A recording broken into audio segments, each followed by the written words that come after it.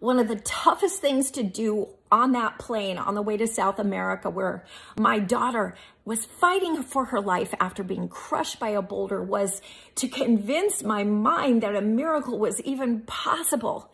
But here's where I started. I started by asking myself some new questions and finding some things that my mind could believe. And the first one was, has anyone ever accomplished something that everyone else said was impossible?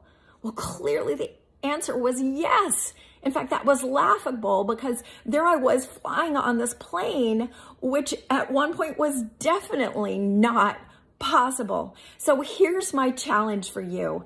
If you are facing the impossible, what small thought can you think right here, right now, that gets your mind to a place where it says, you know, that might be possible?